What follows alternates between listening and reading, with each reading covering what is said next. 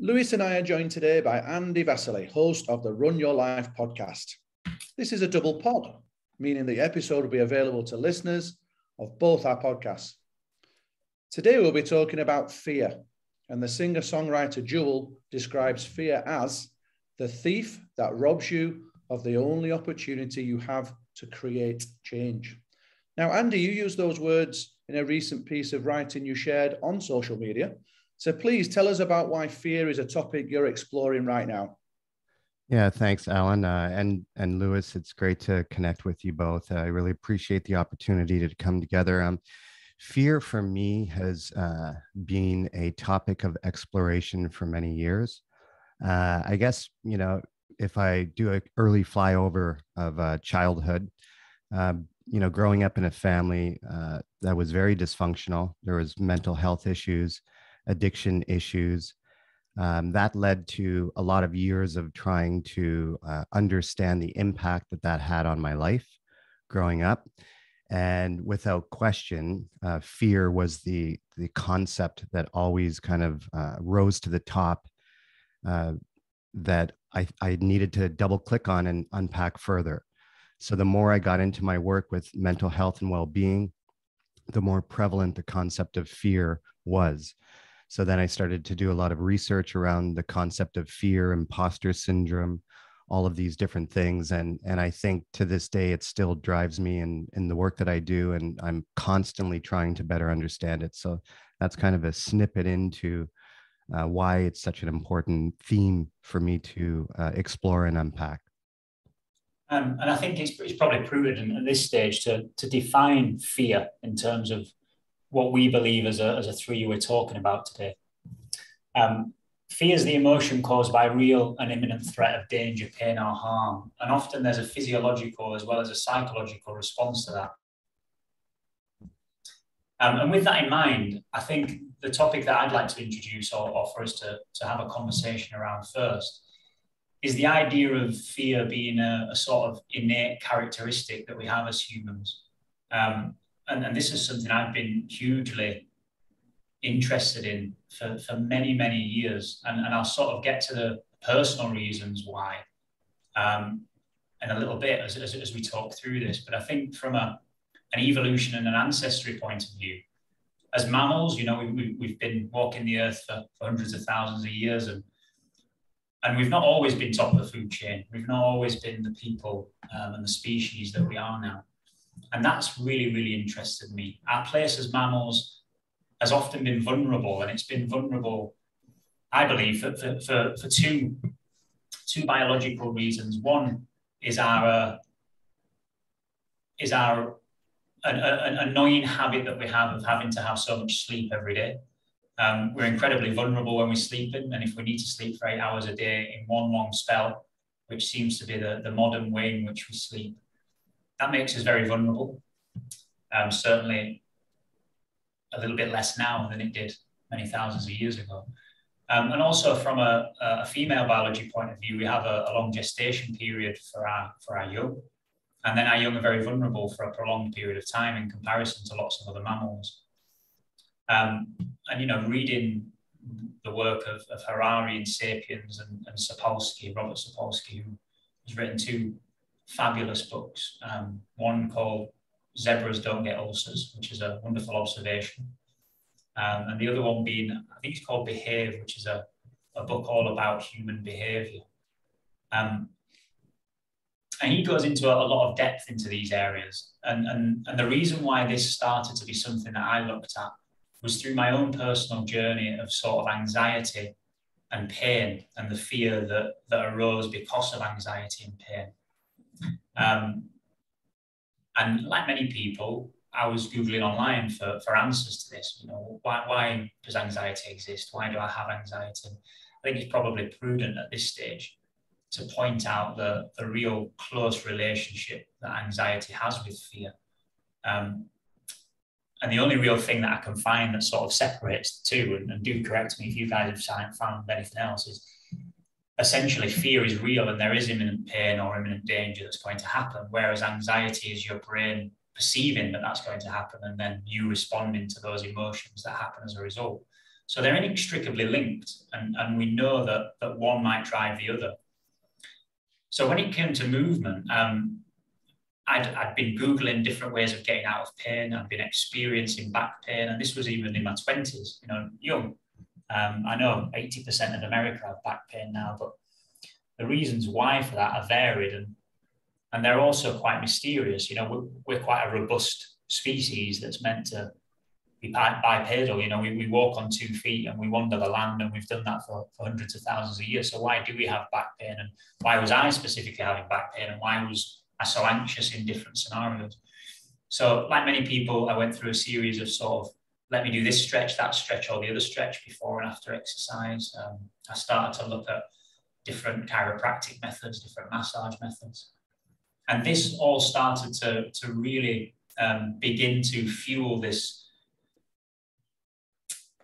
this wonder and this real sort of desire to find out why is this the case you know what why as mammals do we feel anxiety why am i in pain if i can't move particularly well or is it because i can't move particularly well that i'm in pain and i'd be really interested to hear your your guys sort of thoughts on this because i think from an evolutionary point of view it does make sense that if we are vulnerable and we're injured or we're in pain that we're going to be anxious because we have everything to be anxious about. If we can't move particularly well, our tribe might leave us behind. If we can't move particularly well, we're more likely to be hunted. If we can't move particularly well, we're more likely to be weak and to be picked off by, by people that are stronger than us. So, which one causes which was sort of the first question I was going to ask. And I'd be really interested to hear your thoughts. Is it that the anxiety is driven by the pain that you're in, or could it be that the pain that you're in and the lack of mobility that you have creates the anxiety and then that affects the movement. okay, I'll, I just I just want to jump in, Alan. You can add uh, your thoughts as well, but I would be very interested in knowing. Uh, I've done a lot of work uh, around uh, compassionate inquiry, which is inquiring into the impact of early childhood trauma on uh, adult life, the life we live. And Dr. Gabor Mate is world renowned. He's a Canadian psychologist. And what he says is that um, anxiety is, is a manifestation of early trauma.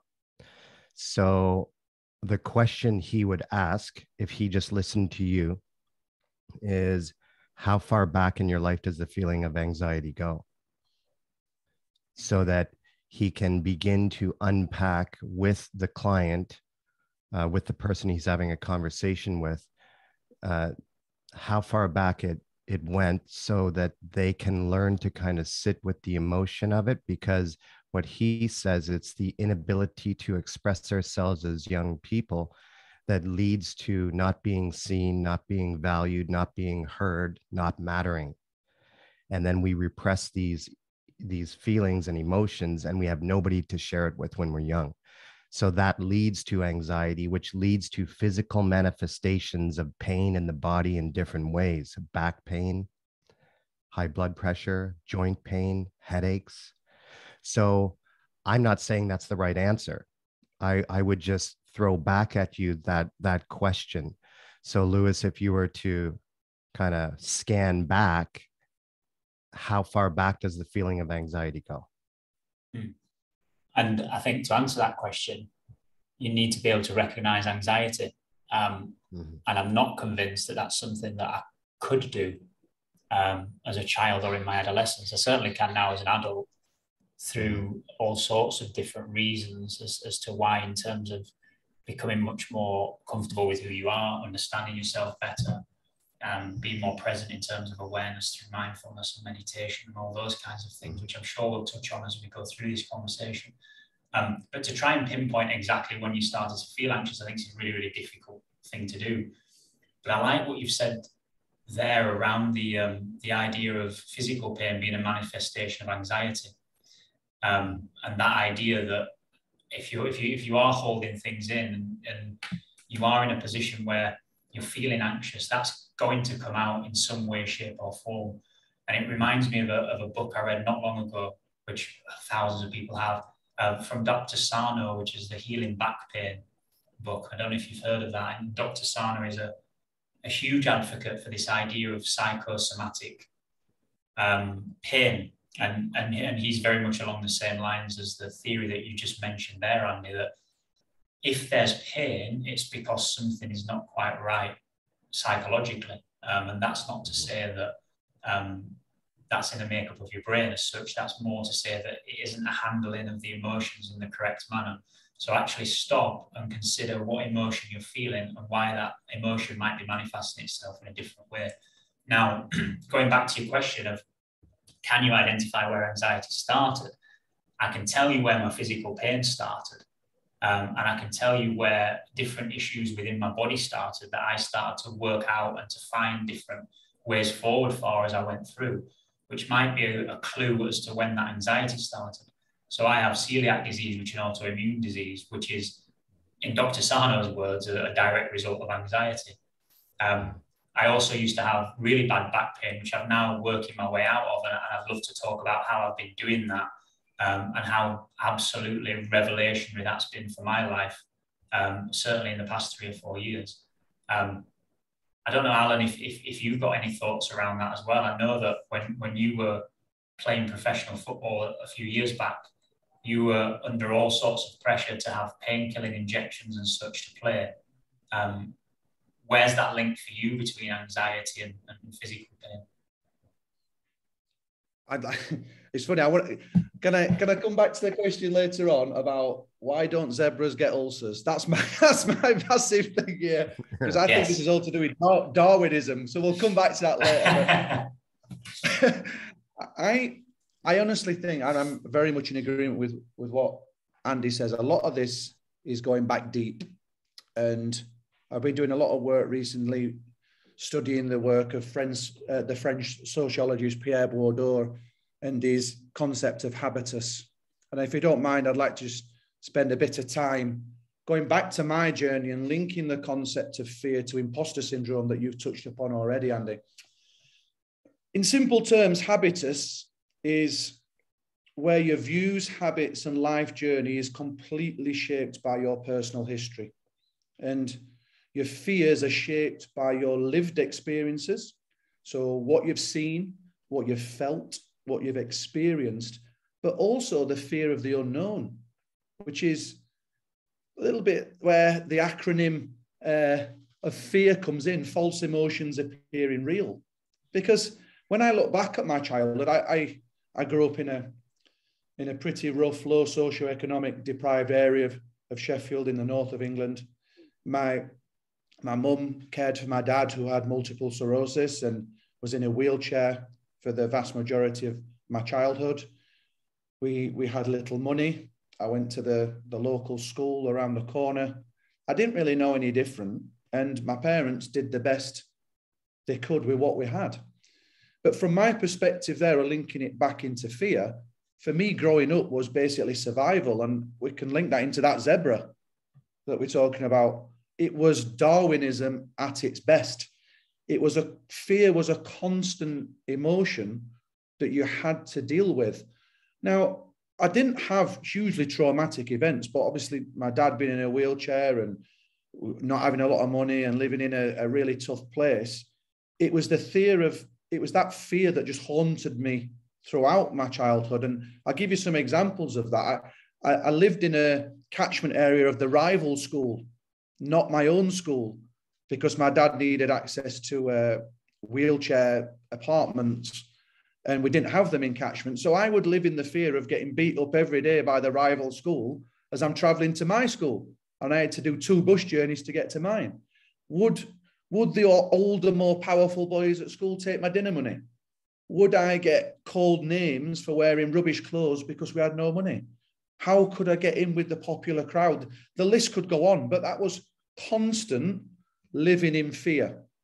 And, and as Lewis touched upon, our football was an escape, but the fear actually bizarrely only got worse as I got better because the pressures of wanting and expecting to become a professional footballer were so huge. I became paralyzed with a fear of failure. And that just brings in that sort of next acronym for me of how my life shaped through fear is that failure expected and received. Yeah. If the expectations that people set for you on your estate are low and the school is poor, then that's what you achieve. Mm-hmm. And and that's how I felt that I went to a school where expectations were low, behavior was poor, zero learning. I lived on an estate where a benefit culture was rife. If I was lucky enough to get a job, it'll be in the steelworks that Sheffield's famous for. There was no aspirations, and we weren't shown what our possibilities were. It's, it's interesting there because at that point I was really lucky because I was involved in a professional football club, but I didn't believe in my ability enough to actually really make it. So I didn't. So that it ties together with that habitus that Bourdieu talks about. You are your experiences and where you're from, unless you can break that cycle. Yes, Andy.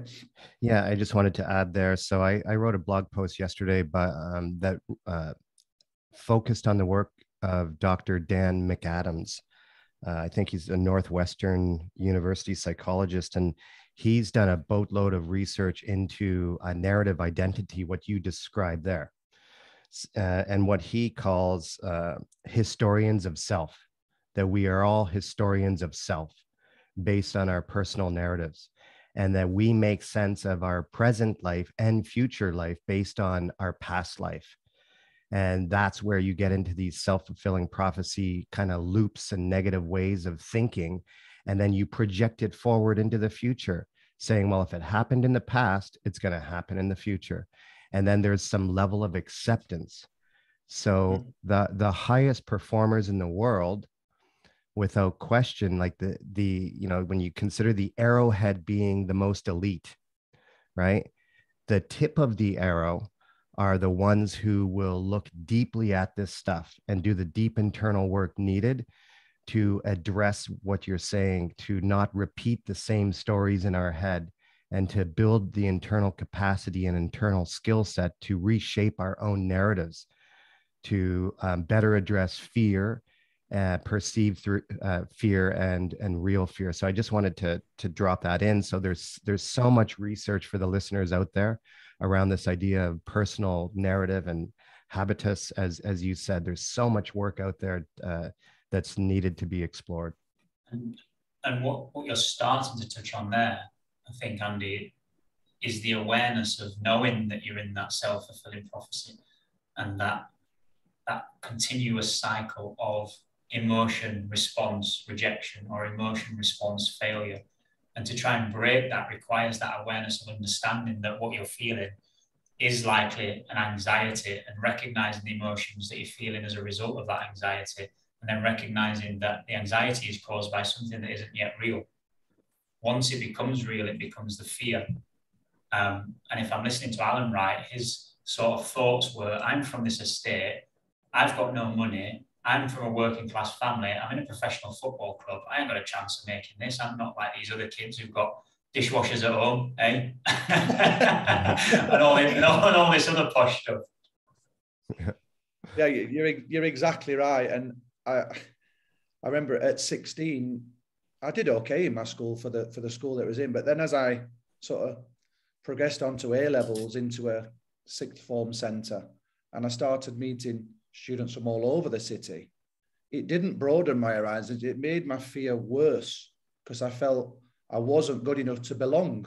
They had the nice clothes, as they had the cars, they had lived in nice houses, they got better GCSEs than me. I absolutely hated it. I and I used the There's a seminal moment where I was down at the army recruiting office in Sheffield Town Centre, and I may have told this before, but I just felt like a way out. I needed a sense of belonging. I needed to go and maybe go and do something. And then I saw my old PE teacher in in the city centre next to the recruiting office. So I, and he had a really good relationship with my old PE teacher. And I, would love to see if he's listening. Wayne Thomas is called, and he I got into the recruitment centre and he goes, Come here, talk to what you doing. I said, I'm, I'm going to sign up for Army Wayne. And he goes, You have got so much potential. You could become what I do. You, you could become a PE, ten, become a PE teacher. And really, it was instilling someone had that belief. And that then sort of got me on that a turn, a little bit of a turn because someone believed in me. And then I thought about this acronym of fear of then for everything a reason. Yeah. A seminal moment. And that that started to to shape my life then. And and again, another seminal moment. I was at college. I didn't even applying for universities or anything like that. I didn't even know I could aspire to that. It never happened before. I didn't have any cash. How were going to afford it? And I remember a mate was driving to a, a university fair. This is pre-internet days, guys. You didn't have all the online prospectus. You had to go and physically go to a fair and pick up a big, massive wad of prospectuses, read through and choose your course. And my mate said he's off. And I said, Oh, I'll just go along. Didn't even know about it. Didn't even like totally blasé. Just went along. And uh, it was at Sheffield Arena. I remember it now. And uh, it was pure slice of luck that I picked up my hometown's university prospectus and saw that they did a teaching degree in PE. And it was the only course I applied for. I didn't, I remember going to the interview. I didn't even have a shirt and tie. I didn't even possess a shirt and tie at that point. I just turned up in like a trackie or something. and for some miracle, because for everything a reason, they accepted me. And it was then at university I started to feel a sense of belonging and a calling in teaching. But I was still plagued with self doubt because then I was mixing with more people from higher socio and economic backgrounds. Um, and then obviously you start your career as teaching, and I started teaching in the same schools that that I went to myself. I had a real affinity with those students who were growing up, certainly like I did.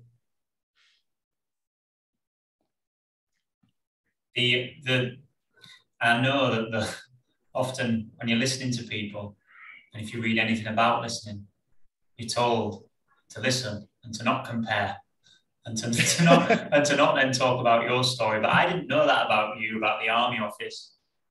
And I experienced yeah. almost exactly the same thing. Um, so for those people that don't know, Alan taught me when I was at secondary school. He was my PE teacher for my last year or so. Was it two years when I was in year 10 and 11? Yeah, two years. And we had a, a half-assed effort in the school that I went to of guiding you in a career. I'm not sure it was career advice, but it was what job are you going to do? That was the that was the question that you were asked. Um, and I did exactly the same thing Alan just talked about. I went to the army recruitment office in Sheffield. I got off the tram opposite the city hall um, and I nipped in the recruitment centre, but I was wanting to go into the RAF and not in the army. And it was at the time, if you remember, when the world, or not the world at all, but the, the Great Britain had, had uh, started to have a, a status, if you like, in, in the Middle East around Iraq. It was the start of the Iraq War and the whole Saddam Hussein story. Um, and the army recruiter said to me, you know, he looked at my certificates and my projected A level of GCSE results. And he said, why do you want to go in the RAF? And I said, well, I'm really interested in, in serving my country. And a little bit like Alan, I, I suppose it was, didn't really know what to do. And I wanted to go somewhere where I could belong and enjoy being around people. Um, and the guy says to me, yeah, you're, you're a bright lad. he looked at my results and was like, um, my projected results. And I was like, okay. He said, at the minute we, we're not taking anyone on in the RAF um, unless you, you you want to join the army. And I was like, I don't I don't think I do want to join the army. For some reason, I had it in my head that I wanted to join the RAF. And he said, um, you know what? He said the best thing you can do, young man, is go to college, do your two years at college, get your A levels, and come back afterwards. He said, because you're a bright lad, and that means that you can start higher up in the RAF. And I was a bit dejected, and I walked out. Um, I remember going home, and my mum was absolutely delighted that the RAF had told me to go away, to be honest, because that's the last thing she wanted me to do. But it, it, was a very similar feeling to what Alan had. I wanted to belong, I wasn't sure what to do. Um, and then I was told, well, actually, why don't you just go and do something with the results that you've got and to go to college? And obviously, that led to everything else that has now happened. And the fact that I went to college and I went to university, I was only the second person in my family, really the second person I knew after my sister that had ever gone.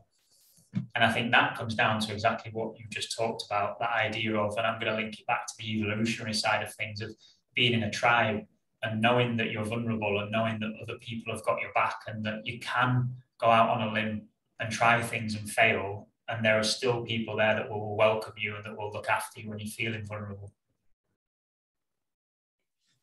Yeah, and just yeah. just to add, you know, I think it's it's amazing hearing both of your stories, and and one of the things, you know, modern times is um, times are changing and people are speaking their truth more because more people are doing it. So the the people who are trying to figure out the past and make sense of it, and as you said, the acronym, uh, Alan, uh, for everything a reason, is so important, right? And I came across a quote that I'll I'll share that really emphasizes this. And it's from Brene Brown, who has done so much amazing work around living with courage and shame resiliency and all of this. But her quote is You either walk inside of your story and own it, or stand outside of your story and hustle for your worthiness. How true it is. So, you know, I just want to commend you both uh, from a really honest place to like continue to speak your truth and share your story and share your experiences on your podcast because you're going to give permission for other people to to know it's okay to explore the past all the shit you know and and explore it and try to understand what you've learned from it. Um, so i just wanted to to drop that in. That's, thank you andy. It's took a long time andy. I couldn't have done this maybe 10 years ago definitely not i think it's been mm-hmm. a it's, it's been a journey of vulnerability and, and like you say i think as you get older and there's trust around people and you, your willingness to share it does it does help you as a person then and helps with your self-awareness. And i think about relating it back to social capital. When you think you've got zero social capital it has a significant impact on on imposter syndrome. And then obviously linking that with professional capital as well. And I, I, trace it back to I, have been very happy in middle management roles for many many years as a as a fairly competent head of PE, securing my knowledge, good at putting a curriculum together. But I never felt I was capable of taking that that next step, which in hindsight I, I clearly was.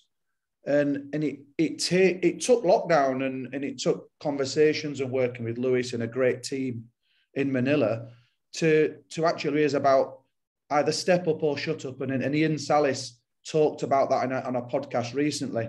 It's no good being in the periphery and saying, "Oh, this could be done better, that could be done." You've got to actually go and go and do it, go and live it. But mm-hmm. you, to do that, you need to be surrounded by people who who believe in you and and value you and and that transformation it can happen at any point in your life and it just seems to have happened really to me in my early 40s uh, rather than sort of younger on because I've accepted that habitus that Bourdieu talks about. And, and the acronym now for fear that I'd like to just put forward to you guys is instead of them negative ones, I've now transformed that to feeling excited and ready.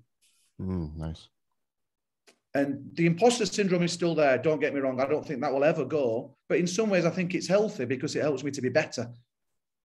Yeah. And I'm using that. I don't call it, I don't think it's a negative thing now. I think it, you know what, imposter syndrome means that I'm, ah, yeah, I, I want to do that reading. I want to get better. I want to get up there. I want to do that presentation. It's the confidence to acknowledge that fear, but to face it and realize that, you know what, you're all right. You're doing well. You've got the skills.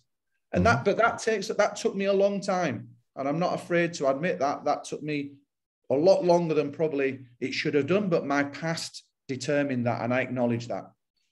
Yeah, just to add one quick thing, um, Lewis, before you share, is um, it ties in with the work of Dr. Martin Seligman from Positive Psychology, where he says, you know, uh, when we are feeling these things and when we lack confidence or we have anxiety or we're struggling, he calls it scanning for the good. So there are strategies that you can absolutely apply to look at past successes. We're always looking at what's not working in our life. And and Dr. Martin Seligman devoted his uh, the second half of his career. He was a clinical psychologist who for years just looked at why people were screwed up. And that's what the medical profession did. And he was like, I'm tired of this. This makes me want to like stick a fork in my eye. I would I would rather look at what's working in people and have people uh, draw attention to their strengths, their natural gifts, so he calls it being a researcher of good. being a researcher of good and scanning for the gold, scanning for the for the good as evidence of past success. So when we are in situations where we might be experiencing imposter syndrome, and I agree, it, it'll probably never go away, but we can greatly decrease uh, the amount of time it happens by putting these strategies into practice. So when that happens, you begin to scan for the for the good and the evidence to say, I've done it before. I, I have these skills that have gotten me through. There's no question in my mind. I can do it again. And then that kind of creates more, rather than constriction in the mind, it creates more expansion and, and possibility, which frees you up in thinking. So, Lewis, uh, you were going to say something before, but I just wanted to drop that in. Yeah, thanks, Andy. I think that's wonderful, and um, I've got probably a few points to make, which which link back to that. This idea of fear and anxiety are thing are something that isn't permanent. Um, you know, we know from Buddhist practices, nothing is permanent, and the quicker we can accept that and move on, the better. But in terms of permanence, we know fear and anxiety are often fleeting, um, and there's there's a sort of tactic I'd like to come back to a little bit later that of a, of a way of a sort of a cognitive process that I think is really useful. That's a hybrid of, of some work Tony Robbins does, the very influential um, larger than life motivator. Uh, and also, uh, it touches on a little bit of something Ant Middleton shares in one of his books about it's called The Fear Bubble, which is a very easy read and, and, and loads of fun if you're interested. But I want to I want to come back to that in just a moment after sort of calling you out, Alan, a little bit. Um, and, I, and I do this with the greatest respect. You said you wouldn't have been able to do that 10 years ago in terms of the awareness of imposter syndrome. Um, I, I don't think, and I, I speak uh, on my behalf and, and, and possibly on yours here, that we could have done what we're doing now two years ago. Maybe. Um, yeah. I, I, think in those first conversations that we had around hosting a podcast, there was lots of reasons why we shouldn't do it. There were lots of reasons why it should be something that actually let's just leave it as an idea. Yeah, of course we could do this. Yeah, you know, we'll come back to it next week. And I think as COVID um, became something that, that stalled our lives more than we thought. And because that pandemic lasted a bit longer, it sort of created that fear of, oh, we haven't really got an excuse now. We need we need to sort of get on with this, didn't it? Um, yeah. You know, and, and and and and we did, and we got on with it, and we were full of self doubt and full of different thoughts that who's who's going to listen to us.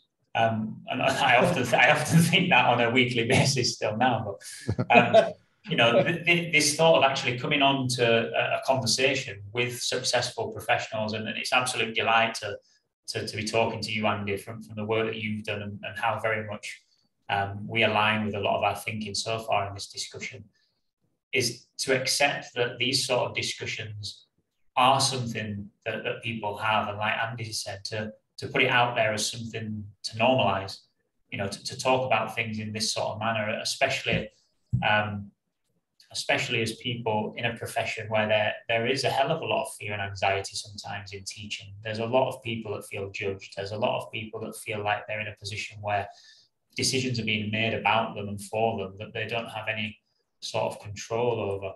Um, and I suppose that control side of it is a nice bridge to talk about the, uh, the sort of cognitive process that I've found works. And it, it's by no means linear. Um, and it, and it isn't something that I feel maybe would work for everybody. But already Andy's mentioned about the positives, focusing on the positives. We know, like Andy said, from Seligman the, and all the positive psychology work, the Science of Wellbeing course on Coursera, which is brilliant. By the way, if you haven't done that, have a little look at that.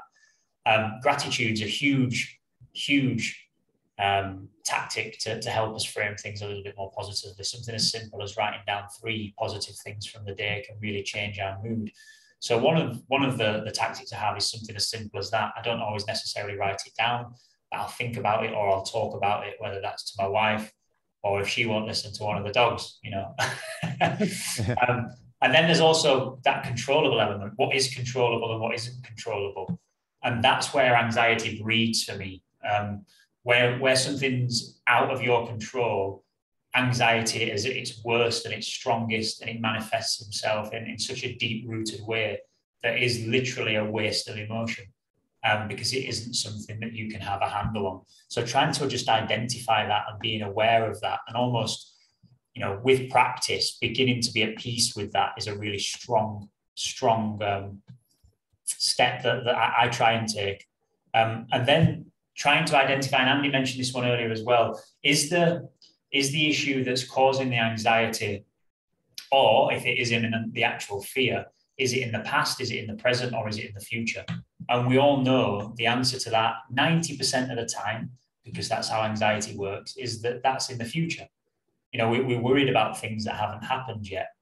Um, Andy touched upon earlier that idea of anxiety being bred by past events as well. When we have time to reflect, like in COVID, and like when you're stuck in the house all day, every day, you know, there's that opportunity to dwell on the past or to think about the future. And again, linking it to the pandemic, I think one of the things we all found really difficult, also can't speak for everyone, of course, but what I found really difficult was there was no punctuation point or end point to what we were doing. So there was a lockdown and it wasn't, oh, but in June, everything will be all right, don't worry. It wasn't in July or August, everything will be all right. It was, this is for an undetermined amount of time and we're not sure when it will end which drives that anxiety of not being able to, control something in the future. So, what can you do? Well, bring it back to the present and be grateful and positive for the things that you do have your own personal health, the health of the people you love, somewhere to be um, safe in your own house. So, having that idea of past, present, or future always helps me. And then I think the last one that I work through um, is the question of do you need to deal with this now? Do you actually need to action anything to deal with this now? And if the answer to that is no, it's again putting that in a category of then, well, if you don't, then that's something in the future. If that's something in the future, do you need to be spending time working on it now? The answer to that is usually no. Is it in your control? Again, because of how anxiety manifests itself, often the answer to that is no. So you, you start to get some concrete answers to some really cloudy, worried thoughts, which then can just bring that down it doesn't make it disappear, it certainly doesn't for me, but it helps me to start to manage expectations and emotions. And it brings that awareness in so that you can break that habitus that you talked about, Alan, and you can think, well, just because I'm responding in this way, or just because I'm from a certain place or acting a certain way, doesn't mean that this is bound to happen. There's a way of breaking that cycle. Wow. Um, so, there's, a lot, there's a lot of stuff there, Lewis. amazing stuff. Absolutely amazing stuff. Can I can I bring it back round to the Darwinistic approach to this then? So is it meant to be that it's survival of the fittest where if you're actually physically weak or you're perceiving that you're physically weak, you are then going to be dominated by other humans, or you're meant to be dominated by other humans or other species that then causes your anxiety. So it comes back to that question there about zebras. And I love that question. Why don't zebras get ulcers, by the way? Well, I'll tell you what, read the book. It's about 700 pages long. It's a, it's a wonderful book. So, Robert Sapolsky's whole theory is that the only thing we need to be frightened or stressed about is being eaten or being killed or both. Actually, everything else doesn't matter too much. But stomach ulcers are a, a, sort of number one sign of high levels of stress, of, of, being in anxiety for lots of time. So his point that he's trying to make um, throughout his book is that zebras don't get ulcers because they don't worry too much about it. They deal with fear when fear strikes. They don't find themselves in anxious states for a long time because they work as a tribe. They have different things that help them. Obviously, the color of their, excuse me, their fur causes confusion for a predator as they approach them because they can't see where one zebra ends and another one starts. The fact that zebras will always sort of graze with one person keeping a lookout, they'll always graze in a sort of circular sort of area to keep an eye out for what's happening. When one responds, the other will respond in the same way. now, they live in constant fear of being eaten. Humans don't, but humans get stomach ulcers and zebras don't. So the book starts to break down what those different issues and those different areas of of real reasons for that happening are. Um, and as much as there might not be one simple answer, for me, going back to what you said, Alan, I don't think it's necessarily that if you are weak, then you live in fear and anxiety. I think we can be more specific than that. And I think that it's a little bit more related to, to movement, if you can move well. Um, and my own personal journey through a, a, a platform or a, a, way of working called functional patterns has, has sort of given me enough personal, real, solid evidence of your biomechanics improving, having a direct impact on the levels of anxiety that you actually hold. Um, we had Daryl Nickel on our podcast last year, and I work quite closely with Daryl online. He's a functional patterns practitioner. And essentially, functional patterns is a is an approach to fitness that values humans' first principles. So the whole approach is wound around standing, walking, running, and throwing, and respecting the gait cycle and the movements that allow that to happen. And there's multiple ways you can access functional patterns, and it is it's changed. It, sounds cliche and it might sound a little bit over the top, but it's literally changed my life in terms of pain management, in terms of the way I move, in terms of managing my anxiety. And not because of the sort of old adage of, well, do exercise and it makes you feel good. Yes, but there's a hierarchy to that exercise. You wouldn't drive a car with flat tires up and down the country. If you can't actually move well, exercise can often be the worst thing you could possibly do. And all it can do is compound the issues that you've got. So, coming back to what you said, Alan, I think from the evolutionary point of view, it's more to do with if you can move well, you know when it comes to fight or flight or freeze, as, as, as we know is in there as well, actually the fight or the flight become options and they become very real options and you can do both. And I think that's hardwired in us somewhere. And I think if we can start to understand that better as to why our biomechanics are so, so deeply linked to fight or flight that actually, as a human species, the whole idea and the whole reality of anxiety starts to melt and become much less powerful because we're focusing on the right things. So that's I'm just trying to process that there with oh. I'm linking freeze with apathy then and with not wanting to get better and just settling for being inside your comfort zone. So evolutionary, you won't fight or fly, you just freeze. And that then leads to maybe that anxiety state or that imposter syndrome where you don't think you're good enough. Does that make sense? Does, does that, am I going down the right line there? Does that, yeah. How does that resonate with you, Andy? Yeah, I think when when you think of the freeze thing, it's just like you're a victim of your circumstances. You know, nothing I can do matters. You know, so yeah. why even try? So you get caught up in the the habitual routines of life from a victim mentality. The learned right? helplessness sort of idea of the elephant tied to the small post. You've seen the photos before. Yeah. Yeah, yeah exactly.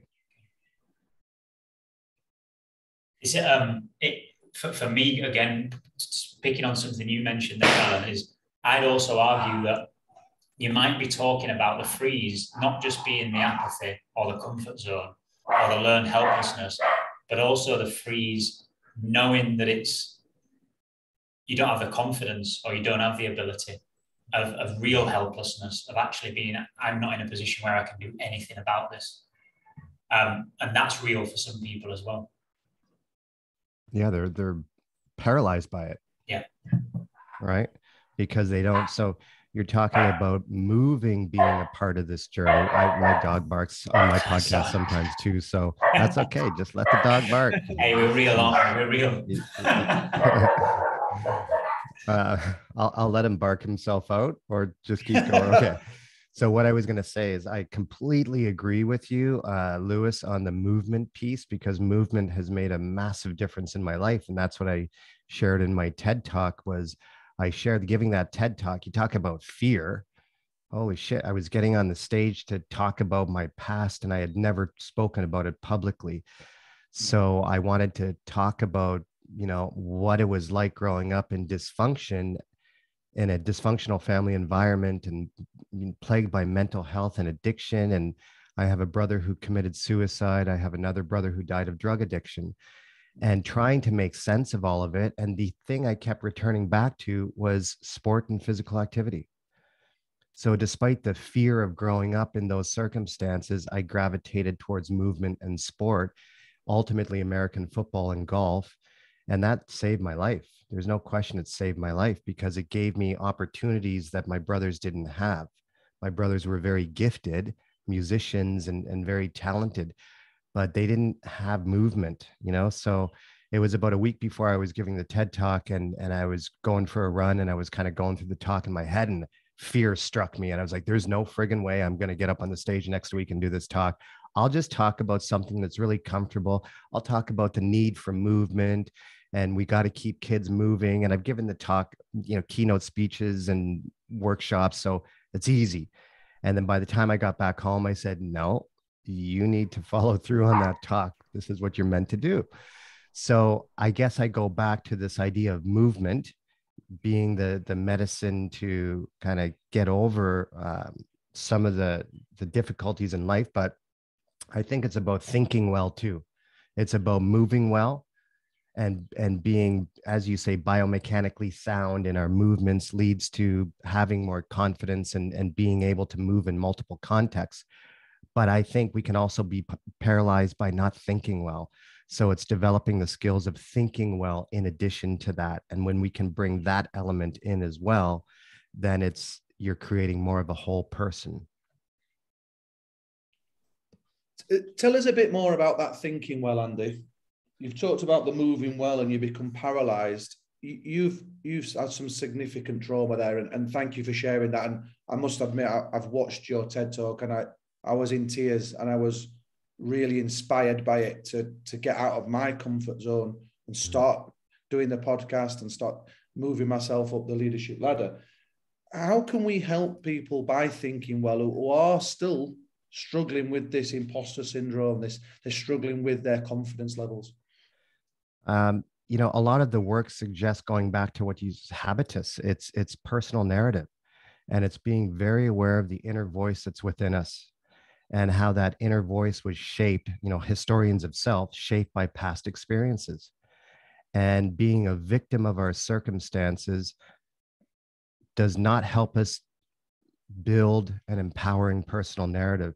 The work of Dr. Jim Loehr, who's a, a world renowned performance psychologist who's worked with 17 world number ones, a lot of them in tennis, but he's worked with a lot of other athletes, Olympians the work that he does is yeah, I'll read a quote to you and then I'll ask you how it resonates with you with your question, Alan. But the power broker in your life is the voice that no one hears. How well you revisit the tone and content of your private voice is what determines the quality of your life. It is the master storyteller, and the story uh, and the stories we tell ourselves become our reality.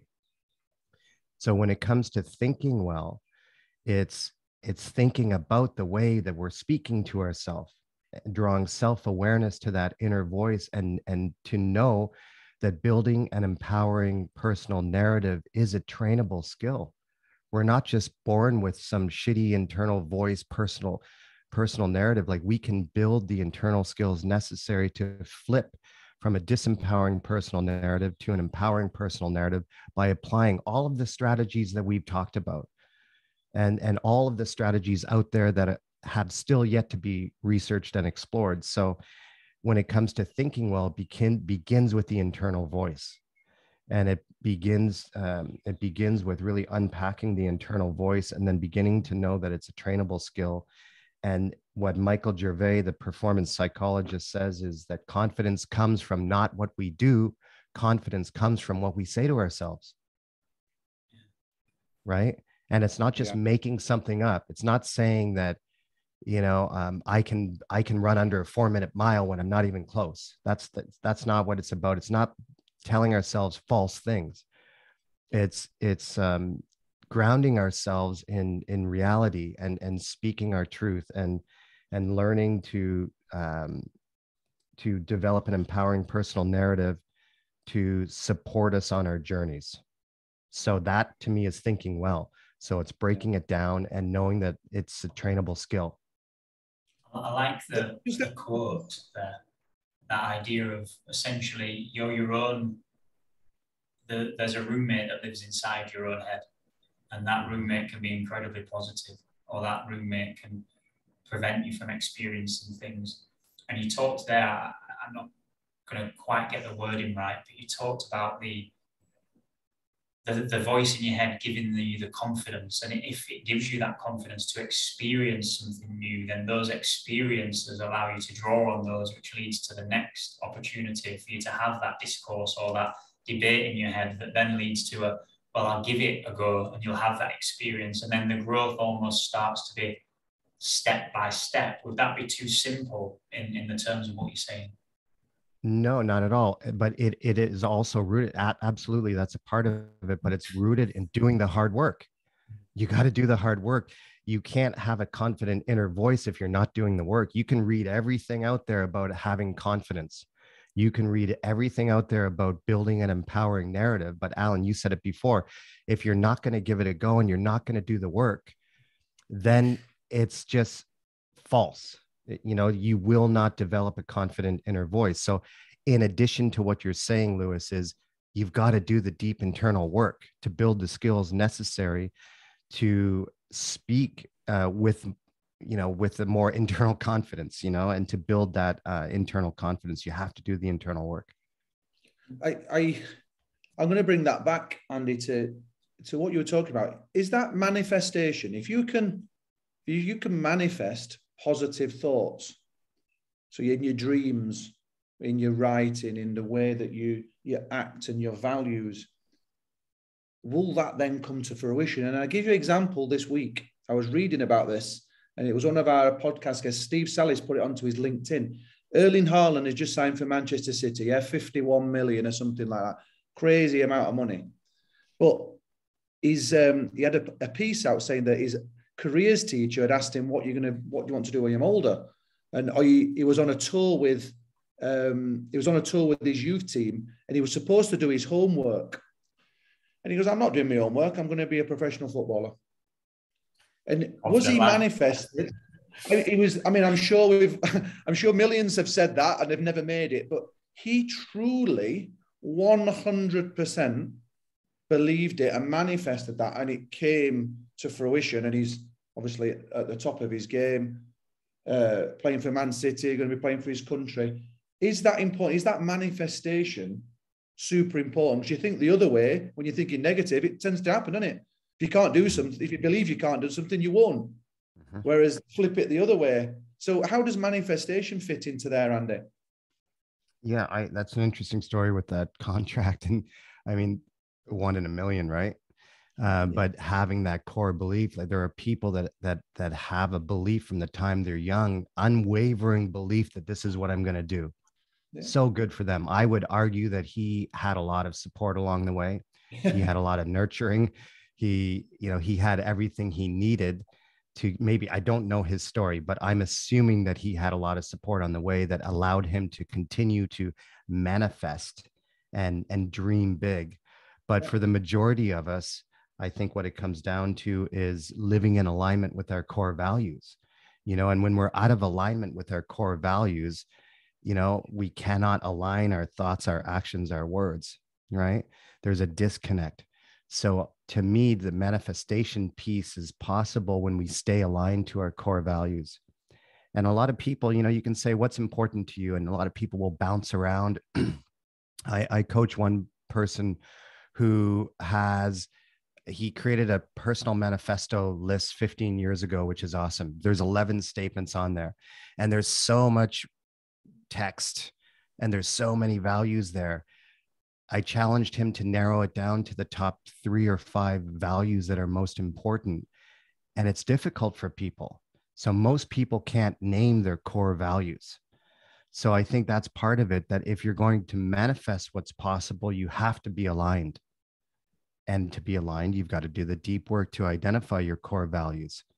And we, when we return back to the concept of fear, you're always in a better position to deal with fear in your life when we're living in alignment with our core values you know rather than being misaligned complacent i think i i believe in that i'm i don't believe in that there should be no question do the deep work to live with clarity and intention so i think that's part of it alan is that's a huge part of it is manifestation comes from living an aligned life yeah and that authenticity is yeah. something that is come through, shining through in our podcast, hasn't it, Lewis? Being an authentic leader, so important. Yeah, it has. And you, um, Andy touched on one area there, Erling Haaland. His father was a footballer, and we know that through evolution, there are certain things passed on genetically, certainly not just by one generation. But to bring this back to fear, we know that evolutionary wise, we, we've got fears that are inherent within us of darkness, heights. You'd probably argue social rejection. We have quite right fears of some animals, and we have a fear of harm and a fear of death as a human being. That they're, they're sort of part of our makeup and our DNA. But there's also evidence, isn't there, that we can pass on our fears and anxieties through our genetics. And I just wonder if that's an example there of the opposite happening, of the belief being, and that, that glass ceiling being broken by his father in this case, mm-hmm. and then him knowing that that gives him, uh, you would you would imagine a distinct advantage. Um, I'm, I do not work in professional football, but I'd certainly imagine so. Um, yeah. And then as a result of that, that has allowed him to have more belief. If that was to happen over a series of different generations, would that be then part of their genetic makeup? That they become a little bit braver and they become a little bit more positive and they have a little bit less fear and anxiety.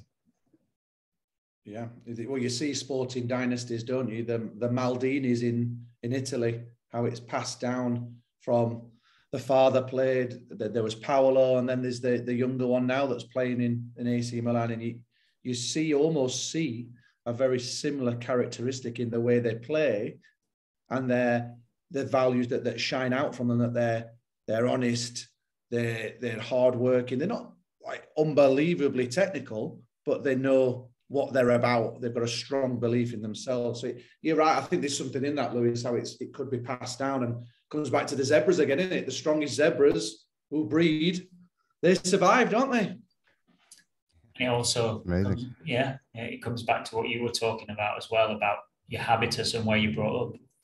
If you're brought up, they're the dogs again. If you're brought up around anxiety and you're brought up around a constant need to be on the lookout for danger because you feel vulnerable, then, then that's going to still sit with you for a long time after, isn't it?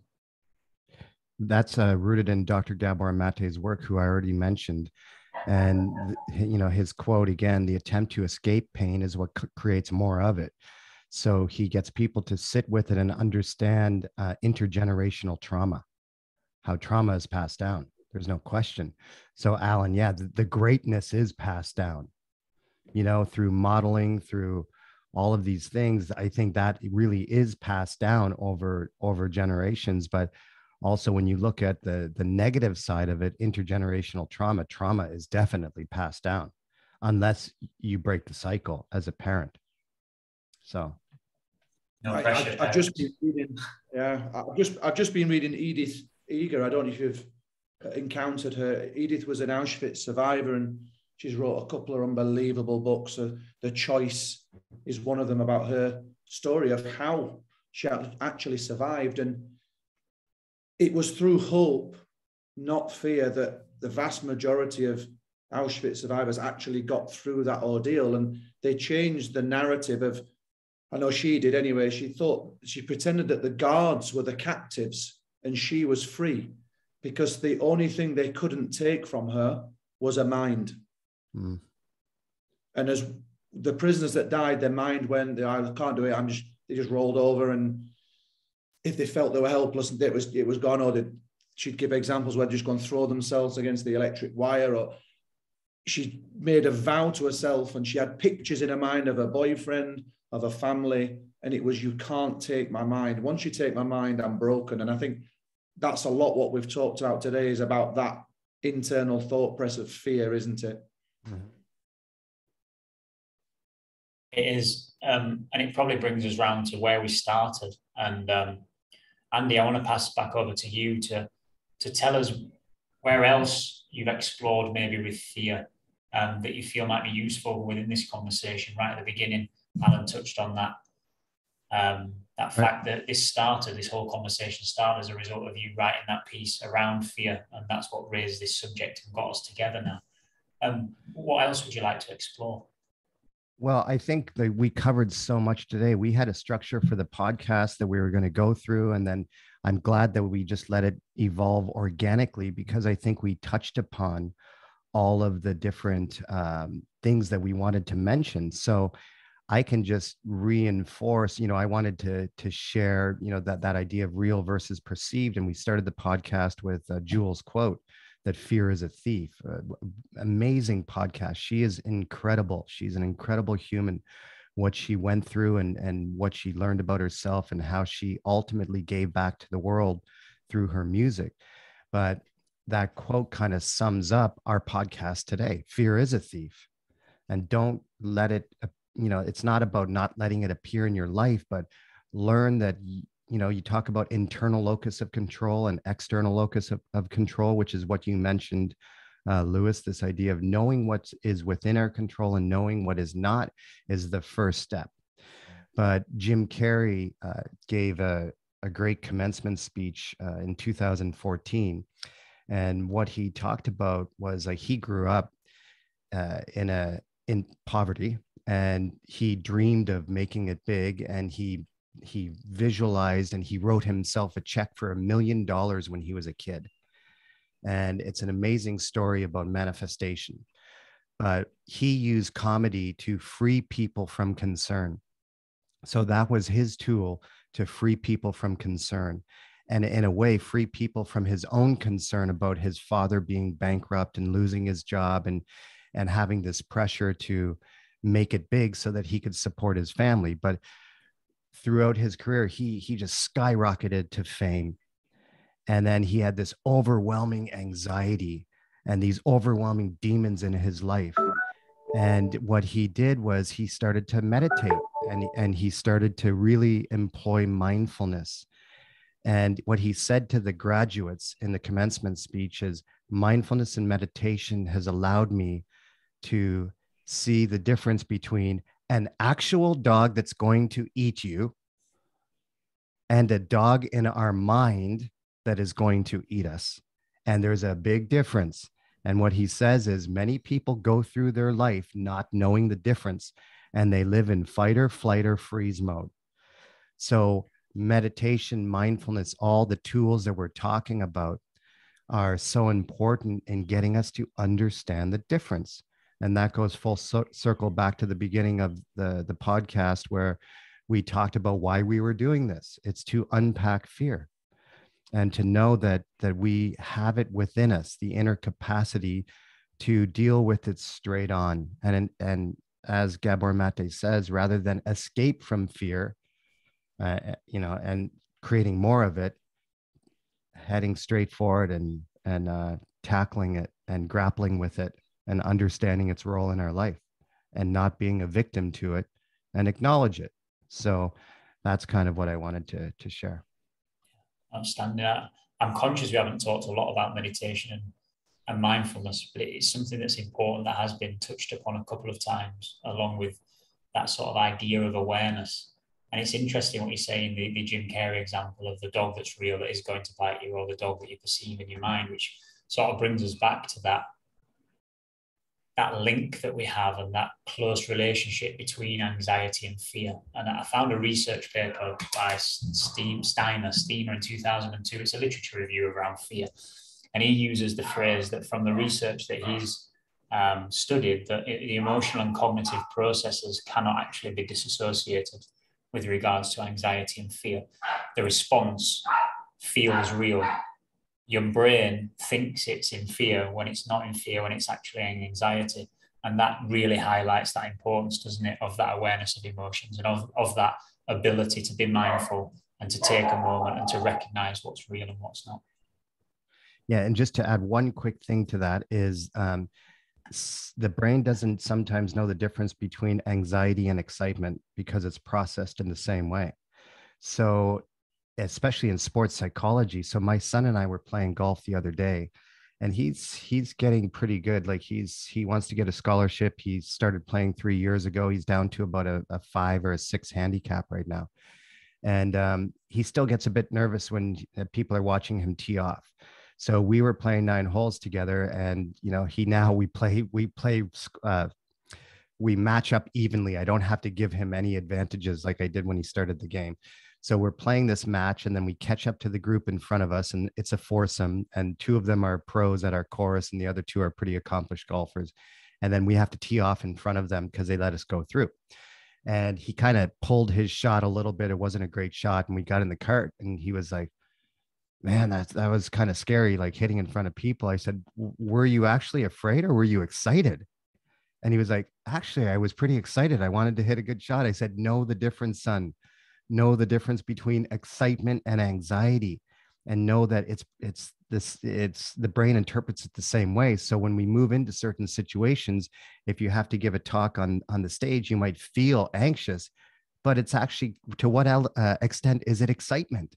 To share your message and the work you've done you've worked so hard on you have an opportunity to share. So it's really important moving forward to to pick apart and double click on anxiety sometimes and play around with it and say, is this really anxiety or worry?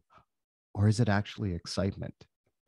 So, more and more work on, on awareness of what the emotion is. I like that idea. Double yeah. click on, and there's a drop down menu under anxiety of what you think might be anxiety might actually be a, a dozen other things. But it's all awareness, isn't it? It's being aware of the emotions yeah. that you're feeling and, and, what's happening. And as soon as you're aware of that, there's an element of control, isn't there? And then there's an opportunity yeah. to react and respond in a in an appropriate way. Alan, I'll come to you for any any closing thoughts before we finish.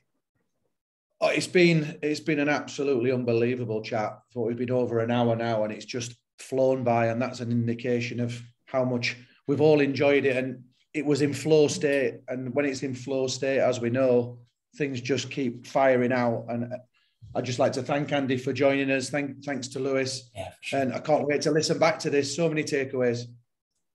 Brilliant. Thanks to, to you, Alan, and to Andrew, uh, to Andy for, for joining us. Um, Andy, be, before we do go, would you like to share a little bit of information about your podcast, Run Your Life? Yeah, sure. Thank you. Um, I my website is runyourlifepodcast.com, uh, and uh, I I have another platform that I share the the episodes on. Uh, I can share in the show notes. Um, I think I just did my 205th episode, so it's a work in progress. I love it. Um, you know, it it moves me so much when I sit with these amazing people and have these conversations. And uh, the learning, as you both know, as podcast hosts, is ever present when you're doing these podcasts. So um, yeah, you can find it online and um, you can find it in the show notes. And also, um, I will add your podcast to the show notes and highly encourage leaders and people to uh, follow your work. You know, there's so many valuable resources that you share, and you know, it's great. And we should do a part two at some point. Um, pick apart another theme. You know, uh, every every once in a while, come together, the three of us, to have these discussions. Great idea fantastic idea. I'd, uh, I'd jump at the chance of that, Andy. It's been an absolute pleasure having you on. Guys, listen to Run Your Life podcast and you can hear from Andy. If you're new to it, you've got, did you say 200 and 200 plus episodes to catch up on? Yeah, 205. Yeah. They'll keep you busy for a while. Um, Andy, I, I, can't wait to have you back on to chat about a topic I, have I've really enjoyed today. Thanks for your insights and see you later.